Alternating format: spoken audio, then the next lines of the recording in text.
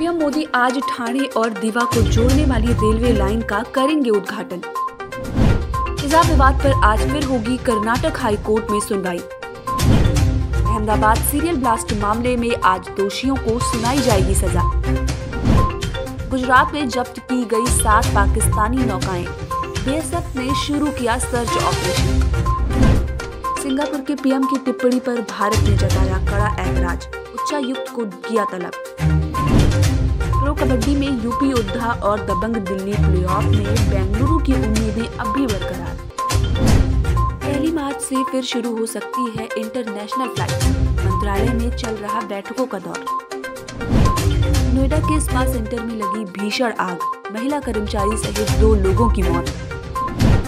IPL में मोटी रकम मिलते ही ऑस्ट्रेलियाई क्रिकेटर ने छोड़ी काउंटी टीम पापा को छह साल से था जिस तस्वीर का इंतज़ार चुनावी मैदान में साथ उतरे चाचा भतीजा और पिता।